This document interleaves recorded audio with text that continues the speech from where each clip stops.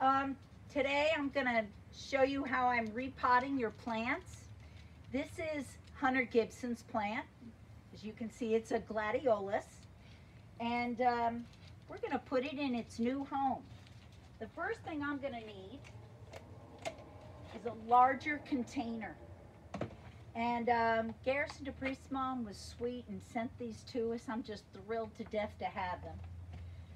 But I don't want all the water to pour out the bottom during the first thing. So what I'm going to do is put something that's biodegradable inside the container.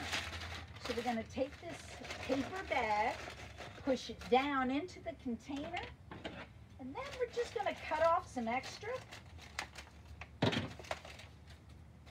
And then take the top of the container and fold it over the top so that now we have a paper insert. So I'm going to take Hunter's name popsicle stick out. And we're going to start at the bottom with a base of some loamy soil and some mulch right down in there. Lots of spaces between each of these things to give lots of air to the roots and let the water trickle through. The next thing we're going to do is remove this right from the original milk carton container. So I'm going to cut along the corners here.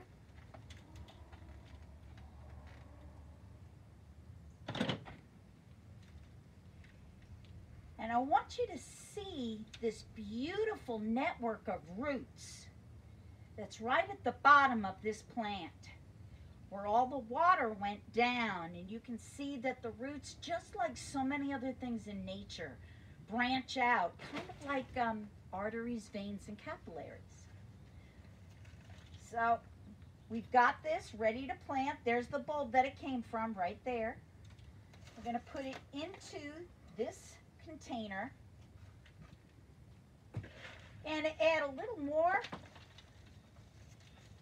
the mulchy soil and I'm going to push it way down all the way around the bulb to support it so that it has, it'll stay up nice and straight. I'm going to put a little layer of dry potting soil in there. Then I'm going to get some of the dark loamy potting soil and put it around the top. Pressing it down so that I have a nice support for my stem.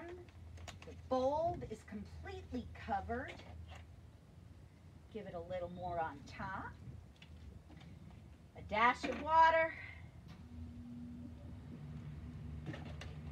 Hunter Gibson's plant is officially repotted.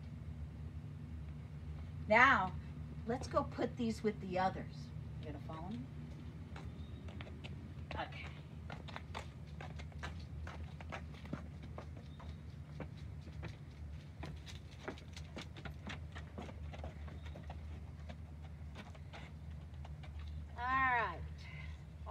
my plants are going to be up here on the deck. I'm putting the um, gladiolas in the front. Give them lots of sun today since we've been so hmm. sun deprived. And uh, I'm ready to do the rest of them. And now you're my dog. All right. Bye, guys.